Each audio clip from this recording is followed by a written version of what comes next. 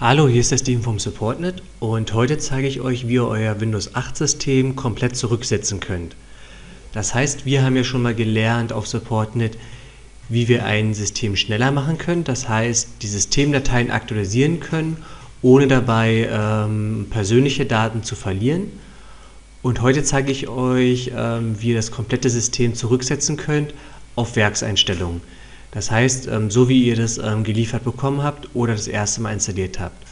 Das hat zum Beispiel den Sinn, wenn ihr euren PC einfach weggeben möchtet, ähm, könnt ihr den einfach blitzschnell zurücksetzen.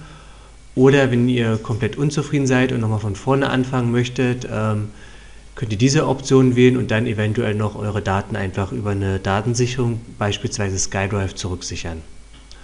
Gut, gemacht wird das Ganze ganz einfach. Wir gehen in die Einstellungen und dann hier unten bei weitere PC-Einstellungen.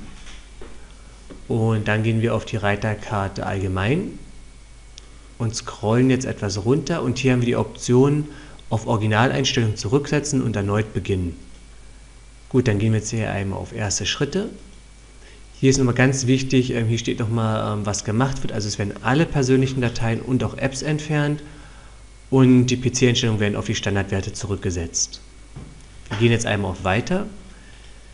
Dann überprüft der Rechner, ähm, ob er alle Dateien hat, die er dafür benötigt. Dann sagt er Nein, wir müssen die Installations-CD einlegen. Das mache ich mal ganz kurz. So, jetzt ist sie eingelegt. Ähm, jetzt wird er sie gleich überprüfen. Wenn sie eingelegt ist, würden wir auch hier oben ein Fenster angezeigt bekommen, dass eine CD oder DVD im Laufwerk drin ist.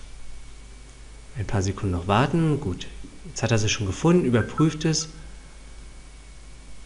Und ähm, jetzt fragt uns, was wir machen wollen. Eben von ähm, nur dem Laufwerk die Daten ähm, entfernen, wo Windows installiert ist, oder ob wir praktisch alle Laufwerke ähm, löschen wollen sozusagen, beziehungsweise zurücksetzen. Das heißt, ähm, wenn ihr mehrere Partitionen habt ähm, und nur auf einer Windows installiert ist, könnt ihr den oberen Punkt wählen. Wenn ihr alles frisch haben wollt, dann nehmt den zweiten Punkt. Gut, ähm, das machen wir jetzt natürlich nicht, weil wir wollen unser System behalten, aber wir haben es schon mal ausprobiert. Ihr könnt jetzt irgendeine ähm, Option wählen, dann wird alles zurückgesetzt. Das dauert ähm, einige Minuten, weil auch die ganzen Dateien zurückspielen muss. Ähm, er startet den Rechner neu und danach habt ihr ein komplett neues, frisches Windows. Also dann viel Spaß beim Ausprobieren.